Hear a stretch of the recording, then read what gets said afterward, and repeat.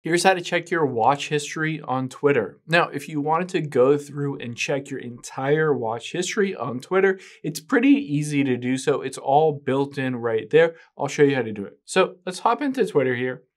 And then we're going to tap on our profile icon at the top left. Now what we're going to do is open up this settings and support and tap on settings and privacy.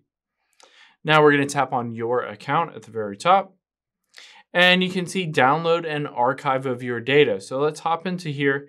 It'll ask you to log in and let's go back to Twitter. So it'll ask you to log into your account. It might ask you to send a verification code to your email or to your phone number for a text message. And then go through that process. And basically now you can download a zip file of your Twitter data. And this will include your entire watch history in here. So all you have to do is hit this request archive. And then they will basically work on that archive. It says it can take 24 hours or longer for that data to be ready. So it's not immediate, but usually within an hour or two, they'll email everything to you in a zip file and that will have your entire Twitter watch history in there. You'll be able to see it. It's not a feature in the settings itself that you can see, you know, in the app what your watch history is, but by downloading all of this data, you'll be able to easily see it. Hope this helps. If you have any questions on that, leave them in the comments down below, and I'll catch you on the next one.